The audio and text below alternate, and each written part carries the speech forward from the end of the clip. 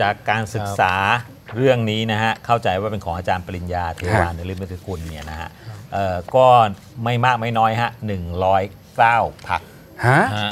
109พักเออแต่ว่ามันมีครับพักที่ไม่ทำงานโดยปริยายอ๋อ ก็คือเรามีบอกว่าถ้าพักไหนไม่ทำงานอ่าก็ไม่จะส่ต้องงถูกยุบไปไม่ส่งรายงานการดำเนินการไม่ส่งงบการเงินอะไรเงี้ยมันจะมีเงื่อนไขของมันอยู่อ่าแต่ลองมาดูว่าเทคนิคนิคกี่เจ้าแล้วเป็นประเด็นเรื่อง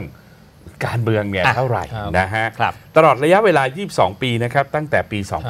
2541 ที่มีการประกาศพระราชบัญญัติประกอบรัฐธรรมนูญนะว่าด้วยพักการเมือง อำนาจในการยุบพักถูกโยกจากศาลฎีกา ให้มาเป็นหน้าที่ของศาลรัฐธรรมนูญทำหน้าที่ในการวินิจฉัยชี้ขาดนะครับครับมีพักการเมืองถูกยุบโดยครัคำบวินิจฉัยของศาลรัฐธรรมนูญไปแล้ว 109 พักนะครับ หรือจันพิษเฉลี่ยเนี่ยปีละ 5 พักนะครับ ครับอืมก็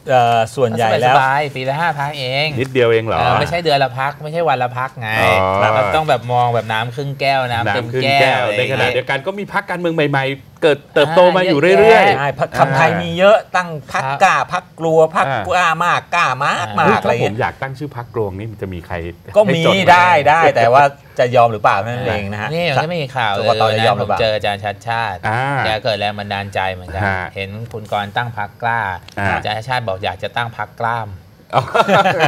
เอามอม้าใส่อีกตัวเลยทีนี้เห็นภาพเลยใช่ไหมพักกล้ามนี่ยังไม่ค่อยชัวร์ใช่ไหมฮะแต่พักกล้ามนี่แน่นอนว่าแน่นอนอันนี้มีวิชวลให้เห็นชัดๆด้วยใช่เพราะคนที่จริง ๆ คนที่บอกว่าตัวเองกล้านั้นที่ผ่านมาก็กล้าฮะแต่เรื่องมันไม่ค่อยดีเท่าไหร่อ่านะฮะเดี๋ยวจะออกนอกเรื่องนะครับปล่อยอาจารย์วิโรจน์เข้าแทร็กนี้นี่จบแน่ๆเวลาน่าจะไมไม่ก้อนพอยู่อไหนเนี่ย ในช่วงทศวรรษแรกของสารรัฐธรรมนูญไทย ตั้งแต่มีรัฐธรรมนูญ 2540 ก่อกำเนิดสารรัฐธรรมนูญขึ้นครับหลังจากนั้นเนี่ยมีการยุบพักส่วนใหญ่แล้วเป็นปัญหาทางเทคนิคฮะเช่นไม่รายงานการดำเนินการสภาพพักอ่าไม่มีแล้วก็ยุบไปซะจะได้ไม่ครับมีใครไปอ้างมั่วซั่วฮะนะฮะก็ปี 41เนี่ยยุบไป 1พักปี 42 ก็ไล่ไป 4พักสี่ปี 43เนี่ย4พอปี 44เนี่ยอายุพักการเมืองเริ่มเยอะแล้ว บางพักเริ่มครับตายแล้วก็ 18พักครับ แล้วก็ 19 พักตามมาเรื่อยๆฮะครับจนปี 50เนี่ยก็เซ็ง11 พักก็เฉลี่ยอยู่ประมาณเนี้ยนะฮะนะฮะ4ถึง10 4ถึงนะฮะ10จนปี 51เนี่ยยุบครับครับ3เข้าใจว่าพักไทยรักไทยก็จะอยู่โดประนมาณไปอยู่ในนี้นี้ด้วยอ่านนะฮะ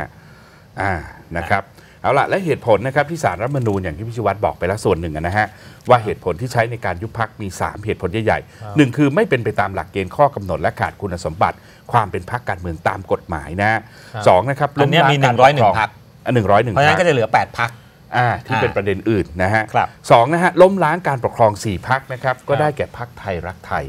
ฮะพักมัชชิมาธิปไตยนะฮะครับพักชาติไทยและพักพลังประชาชนครับนะฮะ น่าสนใจทีเดียวและ 3 ก็คือเป็นปฏิปักษ์ต่อการปกครองมีอยู่ 4พักด้วยกันนะครับครับ คือพักประชาธิปไตยก้าวหน้า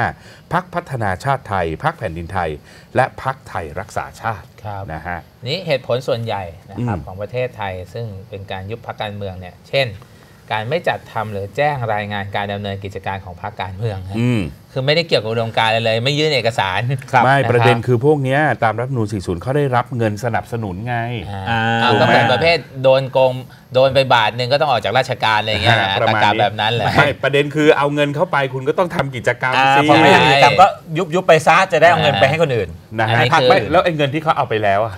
แล้วเขาไม่ก็ไปทำอะไรเนี่ย ก็ต้องรายงานมาแล้วก็เออไม่รู้ว่ายังไงนะเออใช่ทีนี้ก็มีอันนี้อีกนะครับ ไม่จัดทำหรือแจ้งรายงานการใช้เงินสนับสนุนของพรรคนี่แหละการเมืองห็นไหหรือการรับบริจาคจากบุคคลนิติบุคคลหรือองค์กร ซึ่งเป็นเพียงเรื่องทางเทคนิคนะครับไอ้เรื่องที่เป็นข้อหาส่วนใหญ่เป็นประเด็นเทคนิคอ่านะครับหรือฮะความผิดเล็กน้อย นะครับหรือเป็นเพียงการไม่ดำเนินงานภายในระยะเวลาที่กฎหมายกำหนดนะฮะนะครับแต่ก็ในมุมอีกมุมเนี่ยเขาก็บอกอะคุณเอาเงินแผ่นดินไปใช้อะนั่นสิคุณก็ต้องโดนอะครับเพราะฉะนั้นนะฮะความหมายของพรรคการเมืองในบ้านเราอาจจะต่างกับพรรคไม่การเมืองในประเทศอื่นอ่าแต่มันเหมือนคุณยืมเงินเขาอะคุณไม่ใช้เนี่ยมันต้องถึงกับยุบความเป็นบุคคลของคุณเลยไหมล่ะ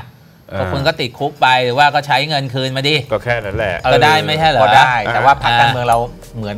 มันเป็นสถานะทางกฎหมายไงอ่าแต่ว่าพรรคการเมืองประเทศอื่นมันเป็นกลุ่มการเมืองไงอ่าอันนี้เหมือนบริษัทอ่าอ่ายุบยุบๆไปอ่านะครับ